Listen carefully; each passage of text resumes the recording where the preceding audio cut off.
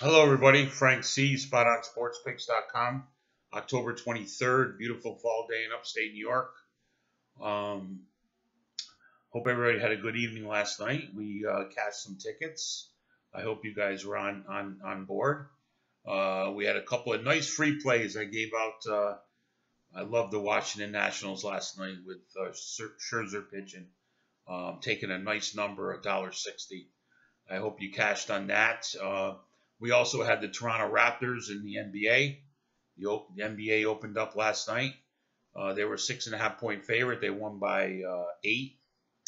And uh, on the pay side, we uh, we have, we're one and one. We had uh, we had the under in the baseball game, which didn't pan out, but uh, we had the Clippers against the Lakers. Clippers were three and a half point underdog, and they won on the court by ten. We knew that LeBron and Anthony Davis weren't going to be gelling right away and um, actually uh, Danny Green kept him in the game. So um, we had a nice day of three and one yesterday. Hope you guys cashed some tickets. And now we're going to move on to today.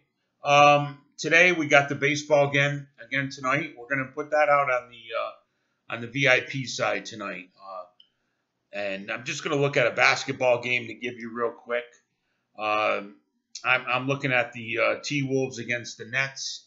Uh, of course, we know the Nets uh, uh, got Kyrie Irving and Kevin Durant, but of course, Kevin Durant will be out all year.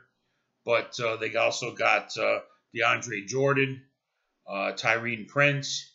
So um, we're looking at uh, Kyrie and the gang tonight at home. Three and a half point favorite over uh, ten, uh, the Timberwolves. The Timberwolves last year really weren't a good road team. They aren't in general a good road team. Um, they, last, they were two and five against the spread in their last seven against the Atlantic Division opponents. Two and eight in their last ten against Eastern Conference opponents, um, and three and eight against the spread in their last eleven road games. So um, the Nets are four and zero oh against the spread in their last four Western Conference opponents. Five and one against the spread in the last six uh, playing last six games playing with three days or more rest. So what we're going to do here, we like the Nets playing at home. They're they're you know a new team, new team put together. Uh, that Barclays Center is going to be going crazy. So uh, we're taking the Nets here minus the three and a half as our free play, and we're going to have a couple plays on the um, VIP side. So hope you guys check that out. Uh, I know we got the baseball game up there, so uh, we're looking for uh, for something there pretty strong. So. Um, anyways, um, again, follow us on Facebook, uh, spotonsportspicks.com, uh, Spot on Sports Picks on Facebook, on Twitter. Uh, we're on the YouTube channel. If you get on there, Spot on Sports Picks, uh, hit that little subscribe button. That'll help us out.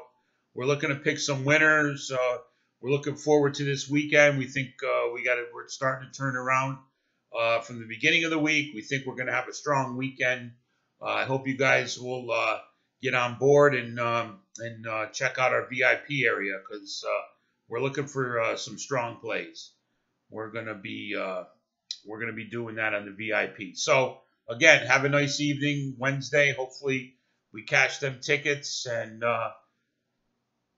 have a good day.